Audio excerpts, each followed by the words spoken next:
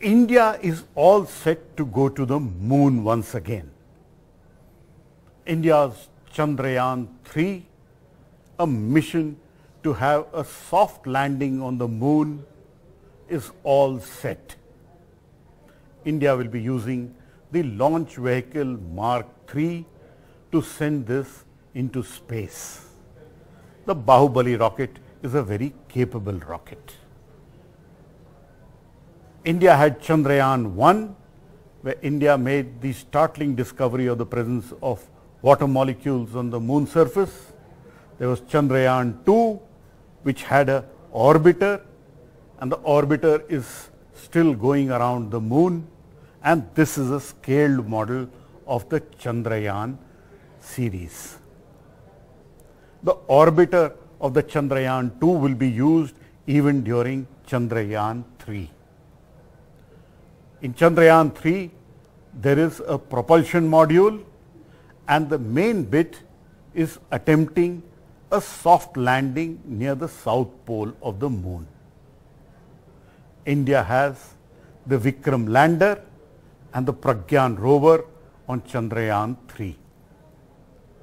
The Vikram lander has been made more robust, the legs have been strengthened, the software has been made more robust and this will have attempt a soft landing almost at the same spot where Chandrayaan 2 attempted the landing of Vikram. Vikram lander failed in landing on the moon in Chandrayaan 2. In Chandrayaan 3, ISRO has conducted several tests which includes many off-nominal tests to make sure that Vikram has a soft landing. Inside the belly of the Vikram lander, hidden inside is the Pragyan rover. Once it lands on the moon, the Vikram landers will make sure that the ramp opens up and from the ramp the Pragyan rover will come down onto the lunar surface. There are cameras on the Vikram lander, there are cameras on the Pragyan rover and both of them would take selfies of each other.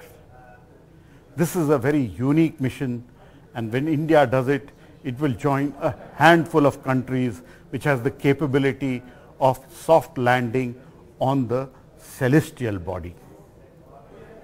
Chandrayaan 3 is an ambitious mission by India and India and the world are looking towards a successful mission of Chandrayaan 3.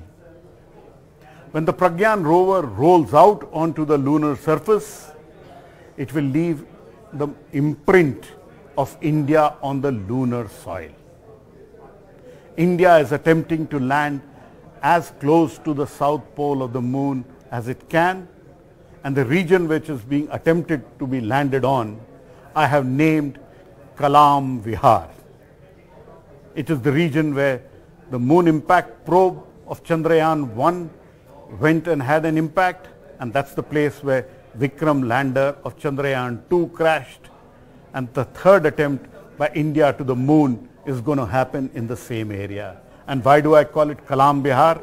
I call it Kalam Vihar because it was President Dr. APJ Abdul Kalam, who requested the Indian Space Research Organization that if you are going to the moon in Chandrayaan 1 as an orbiter, why not send a probe down? That was an important aspect because India placed its flag on the moon. Subsequently, if ever moon resources have to be shared, then India has the rights on that area having landed its flag on the moon. Chandrayaan 1 and subsequently now we have seen India has inked the Artemis Accords. They are all an effort for exploring moon, Mars and beyond. But for now, a successful soft landing of the Vikram lander near the south pole of the moon and then the rolling out of Pragyan rover would be a magical feat by the Indian Space Research Organization. a moment to cherish for Indians. I would also be very happy if Chandrayaan 3 succeeds. It's a scientific mission, so there are several scientific instruments, one on the orbiter, some on Vigyan on the Vikram lander and some on the Pragyan rover. All of them may give India glory. In Bangalore, Pallava Bagla.